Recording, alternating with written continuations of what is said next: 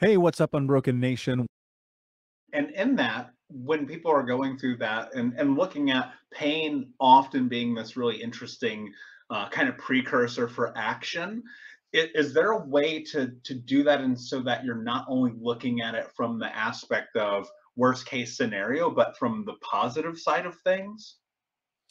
Well, I actually hope that people do, right? I, I actually try to, you know, yes, fear is a real thing, but it's actually pretty much created. So I try to always look at what if you let's say let's say your goal was to make 10 million dollars. Okay, cool. Why? Why why why is that important to Michael? And Michael would say because then I can buy a nicer home, I can provide X, whatever the answer is. Okay, cool. Now you've at least associated something positive or something meaningful behind making this this uh, amount. Um, to answer your question, can you absolutely? That's probably the biggest thing I do when it comes to mindset. Why do we focus on the the negative? So if you believe in the power of attraction, whether that's energy, uh, the law of attraction, if you believe that everything you focus on actually you are able to manifest, which I truly do believe, then if you're focusing on negative, that will continue to come with you. And when I work with athletes, I see it every single day because when they are focused on what they don't want, guess what comes immediately? The thing that they don't want. But when they start to focus on what I really want, something positive, something maybe they don't even think they can obtain, it's amazing how the world just starts to open up for you. So sometimes I've had people be like, well, that's a little woo woo. Cool.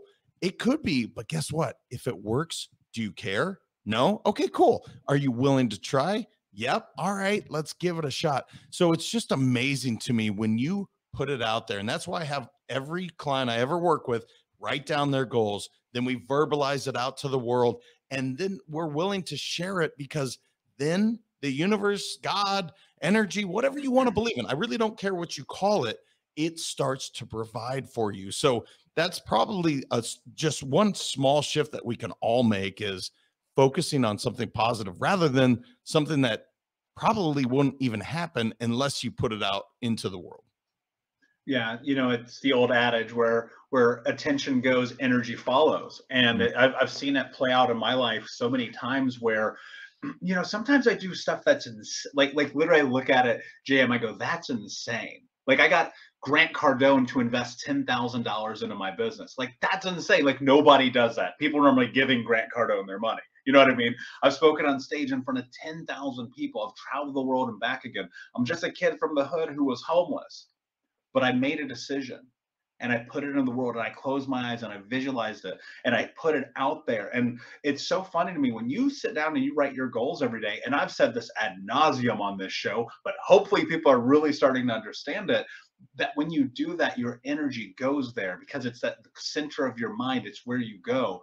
But I think so many times in life, people are just so focused and consumed on winning and the result and wanting the end of it. They're just like, I just want that thing but but I don't know that winning is about the result. And and I know you feel the same. Talk to me about why winning is a mindset and why why that matters so much. Yeah, brother. I mean, winning 100% is all about the process. Talk to anybody that's ever succeeded to any level, whether it's in business or in sport. They will tell you it is the process. You can listen to Michael Jordan, Kobe Bryant, LeBron James. They all talk about the process. So to think about okay, for them, it's the NBA championship. That's a big goal. That's a big thing to try and accomplish today.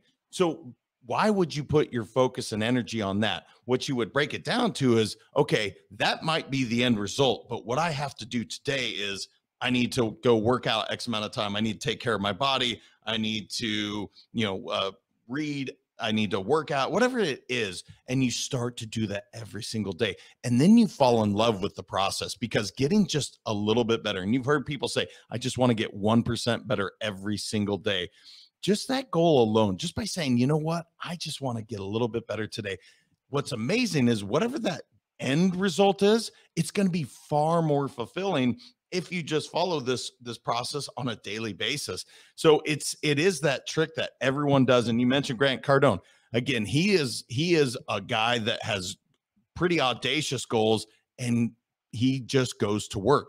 puts his head down, goes to work. And so it's just, it's one of those things, man. It's like, don't worry about what's down the line. And I have a saying that I use with all my clients past is pain, future is anxiety, present is everything, because I can't do anything about the past. That doesn't mean all my stuff in the past is negative.